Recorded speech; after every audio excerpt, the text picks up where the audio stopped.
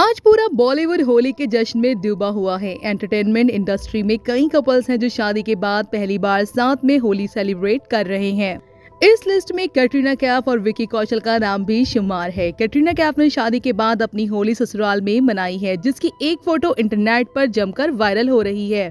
विकी कौशल ने पत्नी कैटरीना कैफ के साथ अपनी पहली होली सेलिब्रेशन की झलक दिखाई है। उन्होंने इंस्टाग्राम अकाउंट पर एक फ़ोटो पोस्ट की है, जिसमें वे कैटरीना और फैमिली के साथ नज़र आ रहे हैं। तस्वीर में देखा जा सकता है कि विकी पत्नी कटरीना, भाई सनी कौशल और पेरेंट्स के साथ कैमरे के सामने पोज देते दिख रहे हैं।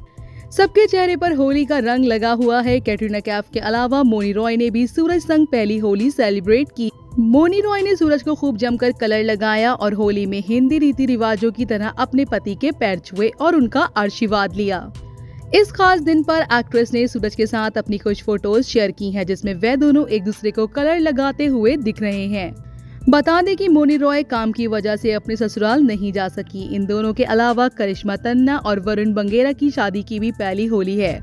और इस पहली होली में ही करिश्मा तन्ना अपने हस्बैंड वरुण वगैरह के साथ भाँग पीते हुए होली मनाती हुई नज़र आ रही हैं। बता दें कि कटरीना कैफ की तरह ही करिश्मा तन्ना ने भी अपनी पहली होली ससुराल में ही सेलिब्रेट की है और इन तीनों बहुओं ने ही होली का त्योहार बड़ी धूमधाम से मनाया। वेल well, दोस्तों आपने होली के त्योहार को किस तरह से सेलिब्रेट किया? आप हमें कमेंट बॉक्स में कमेंट करके ज़रूर बताएँ। साथ ही फ़िल्म इंडस्ट्री से जुड़ी ऐसी इंटरेस्टिंग बातों को जानने के लिए आप हमारे चैनल को सब्सक्राइब करना ना भूलें।